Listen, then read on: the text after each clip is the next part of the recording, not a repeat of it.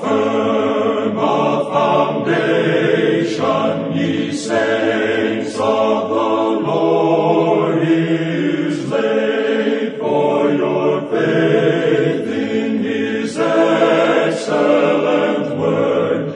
What more can he say? Some things are so undeniably true that we've made them into familiar idioms. For instance, complete these sayings. The apple doesn't fall far from the tree, right? Actions speak louder than words. What goes up must come down. A picture paints a thousand words. Today on Through the Bible Sunday Sermon, Dr. J. Vernon McGee's sermon is a familiar idiom. See if you can complete his title. A chicken always comes home, that's right, to roost, meaning a man's bad deeds always come back to haunt him. Galatians 6 says that what a man sows, that's what he reaps. If you plant corn, you're not surprised when corn grows. If you plant wheat, wheat is what you get. The same is true in our lives. You can expect to reap what you sow, whether that is evil or righteous. We'll be in Genesis today, studying the life of Jacob. You can turn in your Bible to Genesis 29. Now let's pray as we turn our hearts to God's Word. Thank you, Father, that we can learn some lessons vicariously and we don't have to suffer ourselves. Teach us now through your Spirit how to walk uprightly, to sow the fruit that is pleasing to you so that we reap what we can offer back to you in worship. We ask this through your Son, Jesus Christ, in whose name we pray. Amen.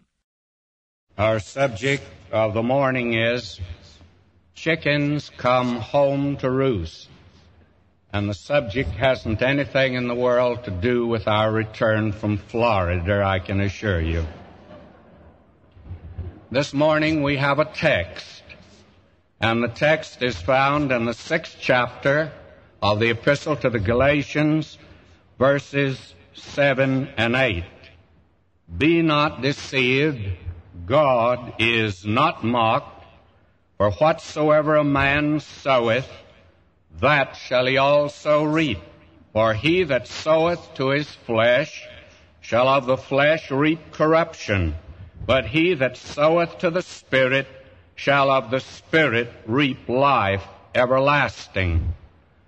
This statement of the Apostle Paul in Galatians is an axiom of life.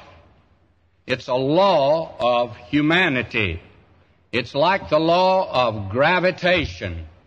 It is one that operates in all the different areas of this world.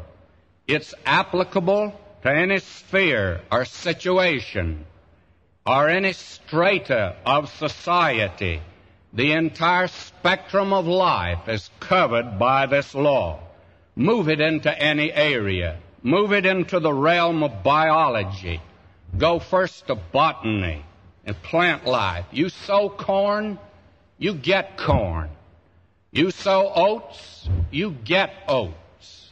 Whatsoever a man sows, that shall he also reap. Move it into the realm of zoology, the animal world, and you will find that cows beget cows, lions beget lions, you can take it into the bovine or the canine or the avian family, and you'll find that it works. Uh, chickens come from hen eggs. That's a profound statement to make, I know, but it certainly is a true statement, and I'm not this morning debating whether it was the chicken or the egg first. Since then, it's always been chickens come from hen eggs because there's a law that operates. Whatsoever a man sows, that shall he also reap. If you want turtles, you must have turtle eggs.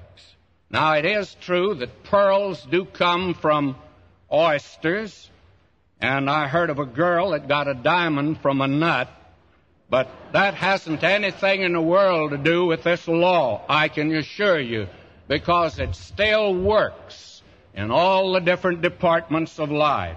You take in the realm of political economy, put it on the national level, and go back to the very beginning, and you take that first great world empire. God said through Daniel, You've been put in the balances, weighed in the balances, and found wanting.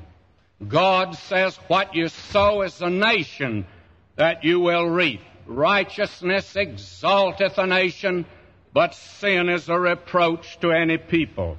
You take it into the spiritual realm, and it's true today for both the saved and the unsaved. It's true of those that are children of God and those that are far from God and without God in the world. The person who is saved does not abrogate this law because he happens to be saved. And by the same token, the person who's unsaved does not abrogate the law at all. It operates in the life of every individual here and has lived on the earth.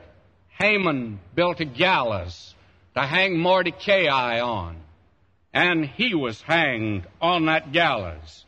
Julian the apostate who killed Christians in his army and used the sword to exterminate them was exterminated by the sword on the battlefield. We were down in New Orleans and we went through the French Quarter and they showed us the Napoleon house that's down there. It's not that Napoleon ever lived in that house because he never did. But it was prepared for him, and it was made ready for him.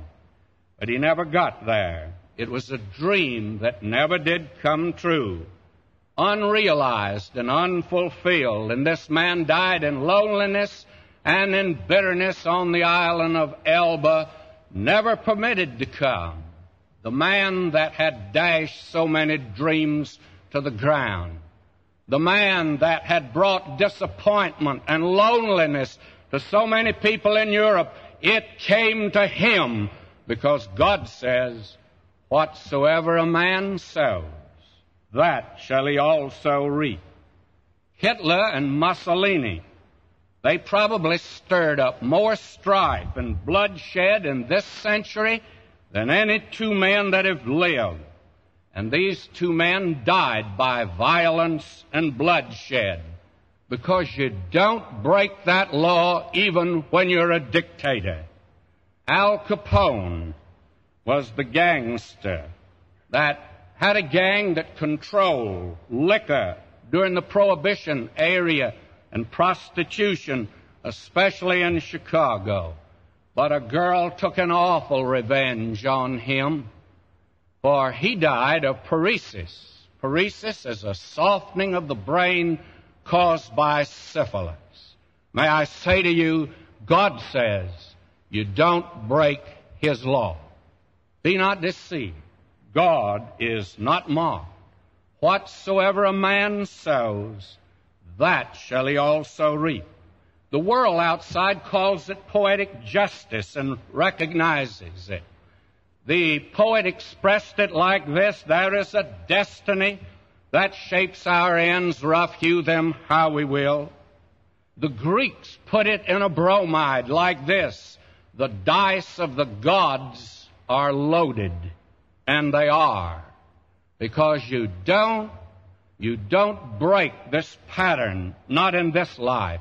The philosopher has expressed it like this the fortuitous concurrence of circumstances, and the man on the street just calls it bad luck, but this morning we call it chickens come home to roost.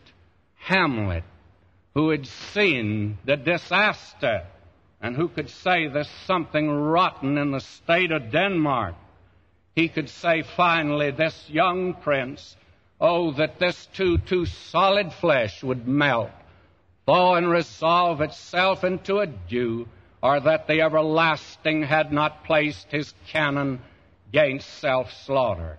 How stale, flat, and unprofitable seem to me the uses of this world. Chickens do come home to roost.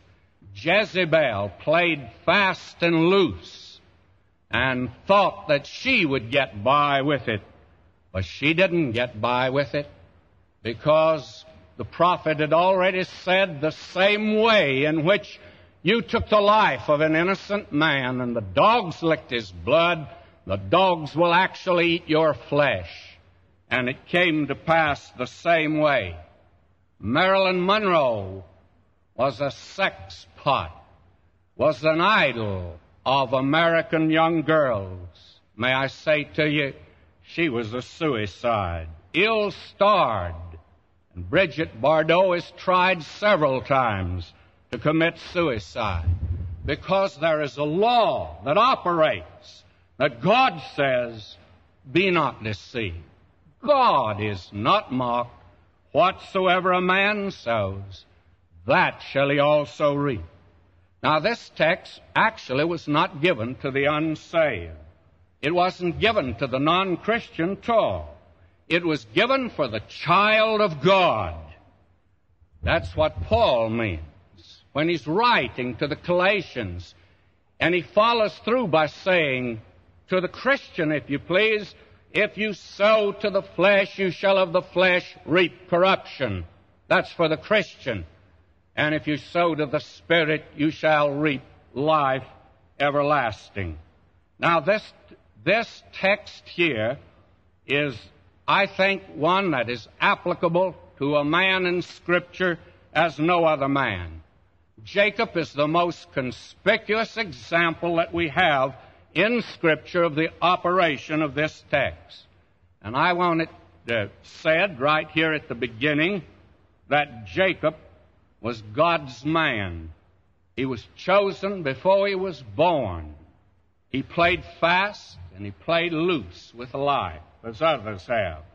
But he was God's man through it all. His conduct did not conform to the position that he had before God. But he was God's man. In spite of what he did, and in spite of his life, he's still God's man but he lived like the devil's disciple. And you begin to see him starting early in life. He bought a birthright from his brother that had already been promised to him, and God would give it to him in his own good time.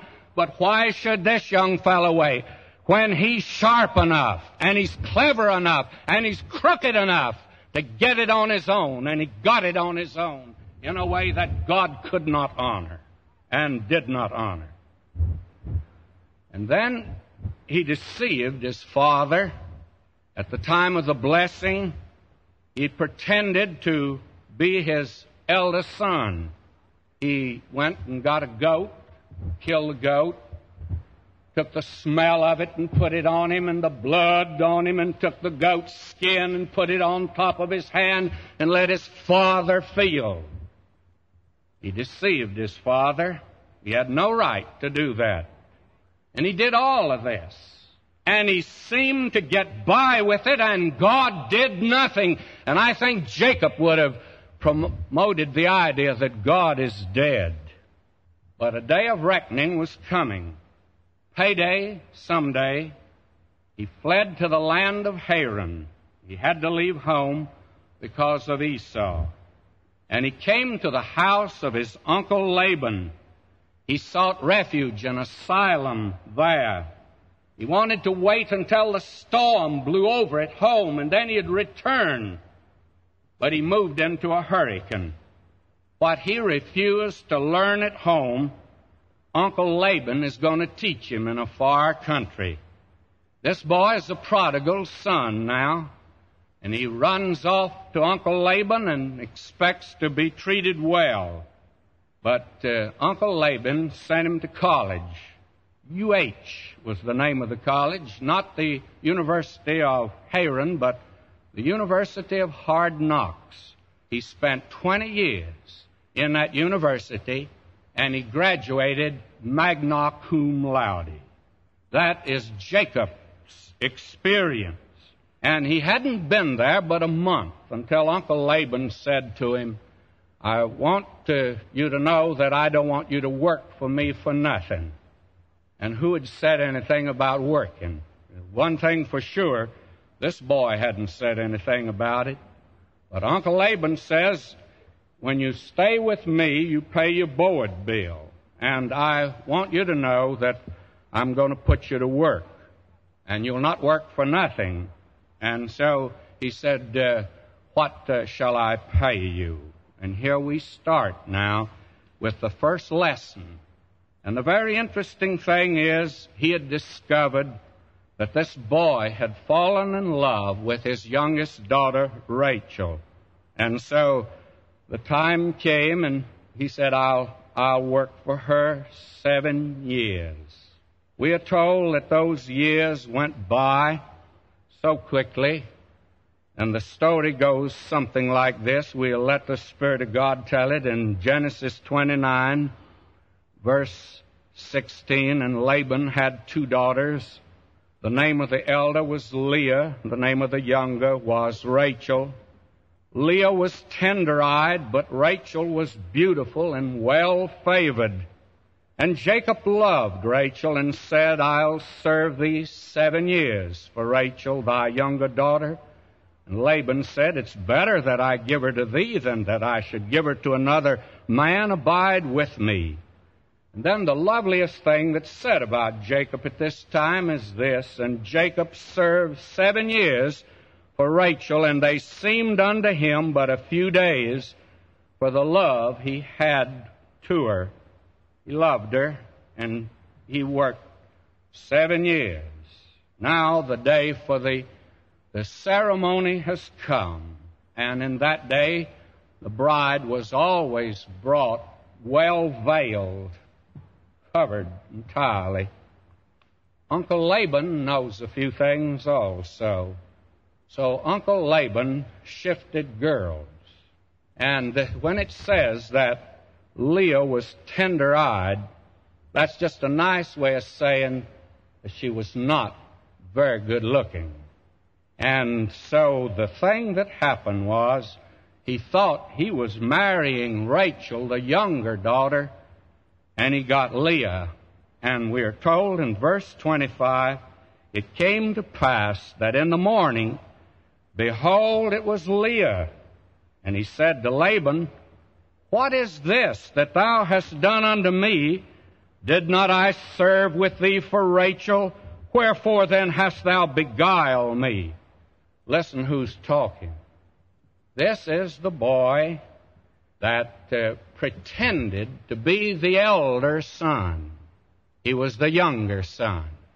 He deceived his father and now he is deceived in the exact way in which he had deceived. Because God said, and you've got to come to the end of the Bible, because if he'd said it at the beginning, you might not have believed it. But now you have too many examples, and God says, Jacob, be not deceived. God is not mocked. You're my man. Whatsoever you sow, that shall you also reap. If you sow corn, you never get cotton. And in the exact way in which you deceived, that's the way you've been deceived. And he's just now starting to college, by the way. That was his freshman year. He's just now beginning to learn some things. But that night, the honeymoon was over. And he now goes to work again for seven more years for Rachel. And Laban very cleverly said, verse 26, It must not be so done in our country to give the younger before the firstborn. Dear Uncle Laban hadn't told everything. He said, Jacob, there was a little item there that I overlooked. We have a rule and a law in our country that you don't give the younger daughter in marriage before the older daughter. I forgot to tell you that. So you have Leah now. Do you want to serve for Rachel? You can be sure of one thing, that this is not God's best for this man. And we find now in verse 30 that he loved also Rachel more than Leah. And we are told that there's strife in the family. And when Rachel saw that she bare Jacob no children, Rachel envied her sister. So that now we have in this home envy and strife. And I say it this morning very kindly, but I want to say it. That home of Jacob yonder in the land of Haran that he founded was a hell on earth. Oh, how this man is learning. You don't beat God at his own game. That when God says, if you're going to sow it, you're going to reap it. And I don't care what you sow, God says you'll reap it. And so this boy is learning now. Now he's been a very clever boy. You remember he bought a birthright and he got it at a reduced rate. He only gave a bowl of soup for it. Very cheap for what he got. It was a bargain price. But you know, Laban likes bargains also. And will you listen to this poor boy after 20 years?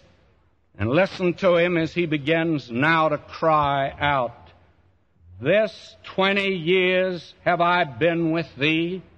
Thy ewes and thy she goats have not cast their young, and the rams of thy flock have I not eaten. That which was torn of beasts I brought not unto thee. I bear the loss of it. Of my hand didst thou require it, whether stolen by day or stolen by night. Thus I was. In the day the drought consumed me, and the frost by night, and my sleep departed from mine eyes. Thus have I been twenty years in thy house. I served thee fourteen years for thy two daughters and six years for thy cattle, and thou hast changed my wages ten times. You talk about having a union. This boy Jacob needed a union to belong to because this man is constantly changing his wages. And he never knows from one day to another what might happen. This man who had bought a birthright who was clever and slick in that dealing, found out that chickens come home to roost. And now he's being treated the same way. Then we have, I suppose, the, the classic example in this man's life. Is the story of Joseph. You will recall that Joseph was his favorite son. The the boy that he loved because he was the son of Rachel. And his brethren hated him, and you'll recall that they sold him into Egyptian bondage. And then they wanted their father to think that he had been killed. And they took that coat of many colors, and of all things, they killed a goat and dipped it in the blood of the goat. This is the man that took the skin of a goat and deceived his own father. Now, as a father, he's deceived the very same way. And it was the saddest day of his life. This man found out that there is an axiom of God that operates be not deceived, God is not mocked, Whatsoever a man sows, that shall he also reap. And just because he's God's man, he won't escape, especially when he's playing fast and loose. Now, that's not an isolated case in the Word of God. Very briefly, let me mention some others. There's the story of David. David committed an awful sin, and let's not play it down. It was awful. God said it was awful. And why do you think it's awful? Because the Word of God says it's awful, my beloved. But the thing that David did, the king of Babylon did it every day and got by with it. Seemingly. But you see, David is God's man. And there stood that man, Nathan, God's prophet, right before him, and and he tells the story of a man that took a little ewe lamb that belonged to a poor man. And David could see the sin in somebody else, but he couldn't see it in himself. And you know, that's our trouble. We have spiritual astigmatism. We can see where the other man is wrong, but we can't see our own. And so this, this man, David, red-headed fellow that he is, he stands up and he says, if that man's in my kingdom, he shall be punished. Who is he? Took a lot of courage for Nathan to lift his hand and point it and say, Thou art the man.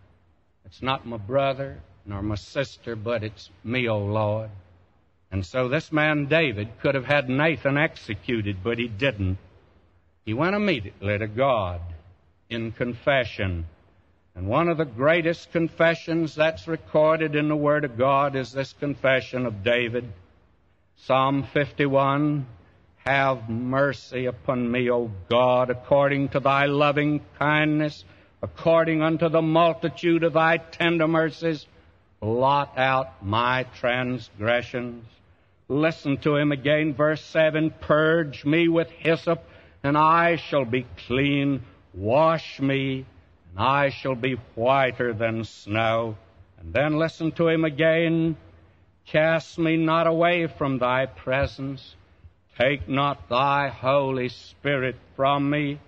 Restore unto me the joy of thy salvation, and uphold me with thy free spirit. He confessed it.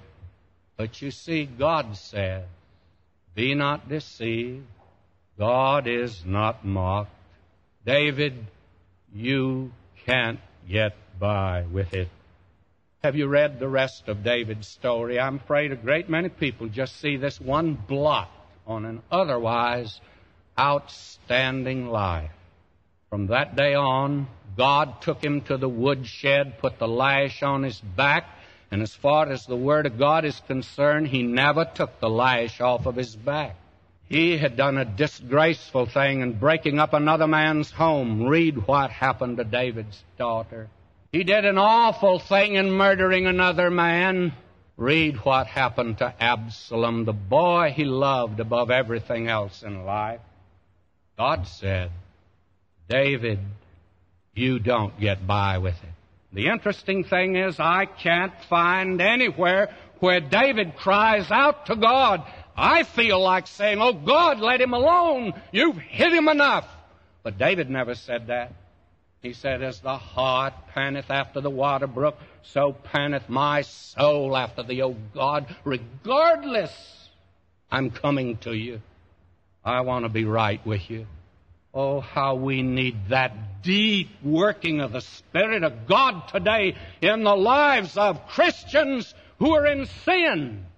I tell you, God still has a woodshed, and He still uses it. Then we find this man, David, never crying out to God. Never did he cry out to God. He's not the only one. You come to the New Testament and somebody says, well, when you get to the New Testament, it's different. No, it's not. Peter says to the Lord Jesus in the upper room, I'll die for you. He denied him that night, denied him three times. But our Lord said, Peter, there's a law that operates.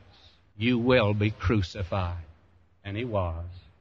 Peter, when he was crucified, tradition says, asked that his head be put down. He says, I'm not worthy to die like my Lord died. Paul the apostle stood one day, a young man, and saw another young man, that first martyr of the church, and he's responsible for his death. They put the clothes at the feet of this young Pharisee Saul. And that young man saw that man stoned to death and gave the word for it. Now on the Damascus Road, he comes to Christ and somebody says, well, his sins are forgiven. Yes, they are. He's a child of God. Yes, he is. But you forgot there is a law of God that says, Be not deceived. God is not mocked. For whatsoever a man sows, that shall he also reap. Well, will he go through that? Yes, he will. Follow him. First missionary journey. Comes to Antioch of Pisidia. And then the hatred is building up against him. And finally the crowd take him out and the mob stones him to death. Was he dead? Listen to him. Second Corinthians 13th chapter, Paul says, I knew a man once. You did, Paul? Who was he? I'm the man. I knew a man once. He was caught up to the third heaven. You mean you were caught up to the third heaven? Yes. When? When they took me outside of Lystra, yonder in the Galatian country, and stoned me to death. Were you dead, Paul? Yes. Did God raise you from the dead? Yes. The young man that had seen Stephen stoned to death has the same thing happened to him. We're told today that if we would judge ourselves, we'd not be judged. God says He doesn't want to do this, but if you and I won't deal with that which is wrong in our lives, God will. Where did the prodigal son get his whipping when he came home? No. There was a fatted calf there. There was a robe. There was a ring. There was a banquet. There was joy when he came home. He got an awful whipping in the far country because God says, whatsoever you sow, you're going to reap. Let me come back now with Jacob. There came a day when God closed in with Jacob yonder at the brook Jabbok. I stood there and uh, I thought of that man. He had played fast and loose. He had been a disgrace to God, but he was God's man. He was a prodigal son now coming home. And God says, Jacob, you can't go on living like this. And that night, God moved in on him.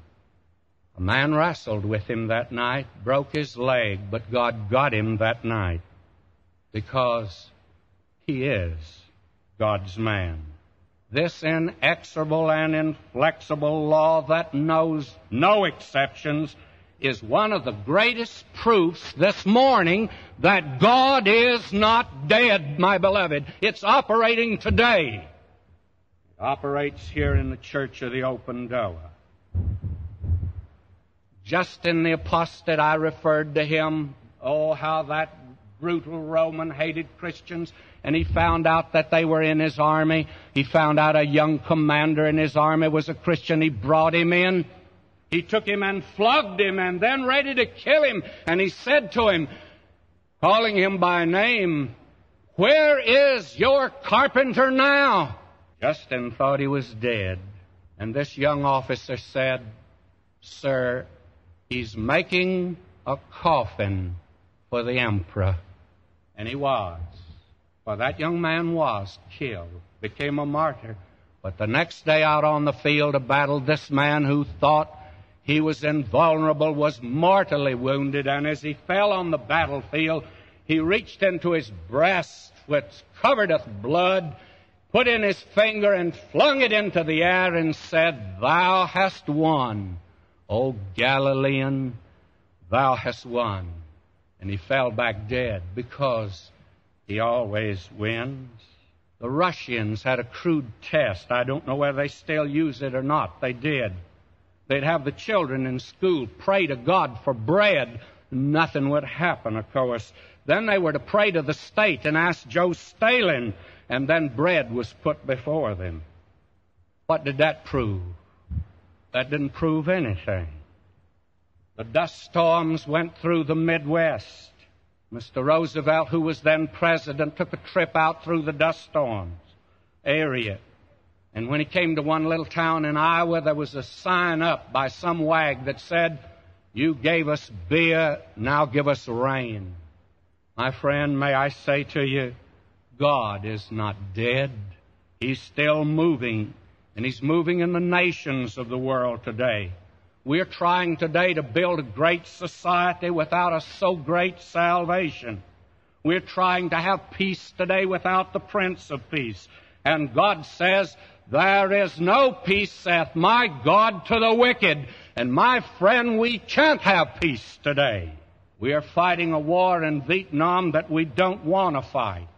None of us want to fight it. But why are we fighting it?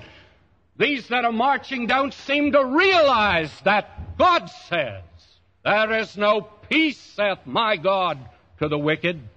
After World War II, we became big brother to the world. We sent our dollars abroad to buy friends and peace. We worshiped the almighty dollar and we thought the world would worship it, but they didn't. They didn't buy our line. We wanted to live in peace and plenty at home surfeited with materialism. Security and sin was what we wanted. And we forgot God. We did a good job of forgetting Him. Oh, we were religious, having a form of godliness but denying the power thereof. Church membership after the war climbed like a thermometer in August in a cornfield in Illinois. We produced synthetic saints. They were as phony as $3 bills. And today we have a tremendous church membership all over this land. And right now liberalism is confessing that it is bankrupt today. They humanize the Lord Jesus Christ. They naturalize the Bible. They socialize the gospel. They devitalize salvation, immunize the cross, emasculated regeneration, and fumigated sin. And they reply today redemption as if it's a cosmetic. And we have today Brylcreem Christians. Just a little dab will do you. That's all in the world today. That they are after is just as little as possible. We've forgotten God. What did they do about Watts? We had a powder keg in our own backyard. And when we asked over the radio to help for running a school here in a church, none of that crowd responded because they're bankrupt. Bankrupt liberalism today putting in the dance and jazz in the church because they've lost out, my beloved. What about fundamentalism? Well, we've made quite a few religious clubs today filled with spiritual snobs. We're afraid to venture forth into an evil world today. I have here a letter that was on my desk this morning. It frightened me at first. It comes from the chief of police, Parker. I wondered, well, I thought they'd caught up with me, but it wasn't on that at all. They have a Los Angeles Job Corps Center for women, not for those that are that uh, are in trouble with the law, but those that are not delinquent, but rather those that have become dispirited in their previous situation. I haven't had the chance yet to bring this to the staff and the offices, but I hope that somebody's going to venture forth from this place to try to reach these folk. Fundamentalism today needs to begin to reach out, my beloved, and not be satisfied with our little religious clubs today. Where are the Christian laymen today that are taking a stand on moral issues? You don't hear them at all. This chaplain down in Bourbon Street in New Orleans made the headlines. I'm not sure I agree with him on all that he's done, but the thing I've noticed is that he is the only man that's had courage to speak out against immorality in Vietnam today. May I say to you, where are Christians today taking stands on moral issues? Right here in Los Angeles, I noticed coming in yesterday on the train that a politician, and you have to admit he's a politician, running for office, has spoken out against an immoral art display. Why aren't Christians today, individual Christians, speaking out today? Where are the laymen today to stand for God in this hour?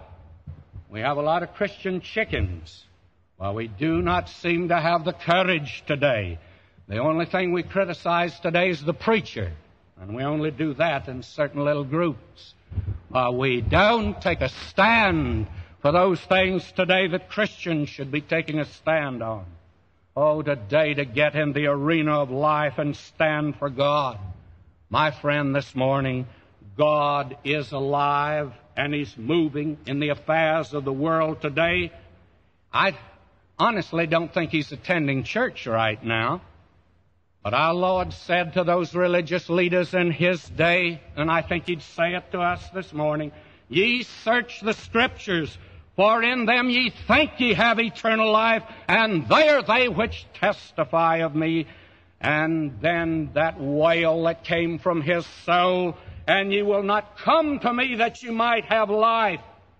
And then listen to him. If ye believe not that I am he, ye shall die in your sins. God is not dead, but you and I are. And life is only through him today. I close. I had the privilege of while I was away of doing something that I very seldom am able to do. I was with two millionaires. One was in Illinois. A man that met us at the train the other morning at 4:30 in the morning turned a car over to us. He told me when I was there before his story. He and I sat waiting for the train late at night. He told me how, as a young man, he played fast and loose. And he said, My one desire was to get rich. And he said, I accumulated a fortune, a million dollars. And he lost every dime of it. He became bitter, went into farther into sin. And then through a wonderful miracle, he came to Christ. And he says, when I came to him, I no longer wanted to become rich but he's worth a million today. His friends say in Peoria that he has a Midas touch. Now, I guess he's in a dozen businesses that he can't touch a thing, doesn't turn to gold. He said to me, Oh, how God dealt with me. And then he brought me to himself. You don't beat him. The dice of the gods are loaded. And our God says, don't roll 'em with me. I know exactly how they're coming up. And they're not coming up in your favor. Don't play with me. Be not deceived. God is not mocked. For whatsoever a man sows, that shall he also reap. The other man was down in Florida. He's retired. Lovely, cultured, refined man and his lovely wife. He told me, he said, I was saved late in life. He never missed a morning service or an evening. He said, I never had Bible study before. Friends, you don't know how wonderful it is to teach folk that have never had Bible study. They came up to me that last evening and she said to me, tears in her eyes, she says, I can't tell you what this week's meant to us. If I did, I'd break down. She gri- held onto my hand for a moment, turned and walked away. Then he, in a very wonderful way, he said, You know, I came to God late in life. I look back upon my life in which I spent just making money. Oh, he said, if I could only go back and live it over. Be not deceived. God is not mocked. Whatsoever a man sows, that shall he also reap. You sow corn, you get corn. You sow oats, you'll get oats. You sow wild oats, and I guarantee you, you'll get wild oats. And you'll get an abundant crop. Chickens do come home to roost. Hmm. If you're hearing this message today, you must ask yourself, what am I sowing? And what am I reaping? Is it a good crop or is it a crop of consequence? Well, whatever your answer, it's never too late to turn your heart to Him right now and ask that He would grow His life in you going forward. As we've said, today's sermon was Chickens Come Home to Roost, and it's available for purchase on a CD or as part of Dr. McGee's 26 sermon series, Going Through Genesis series, available on CDs or MP3 disc. And speaking of Genesis, the Bible Bus is traveling through this great book all week on our daily Through the Bible program. You can join us several different ways on this station on ttb.org by podcast, even more. If you'd like help in knowing your best option, then give us a call at 1-800-65-BIBLE. And we can also direct you to Dr. McGee's free notes and outlines on every book of the Bible. And as you know, we love to hear from you and then learn how God's using His Word heard on through the Bible in your life. So drop us an email today at BibleBus at ttb.org. Now may the mercy of God and the grace of God keep you in His peace as you walk with your Lord Jesus this week. Jesus made it home. All to Him I owe. Sin had left a crimson stain.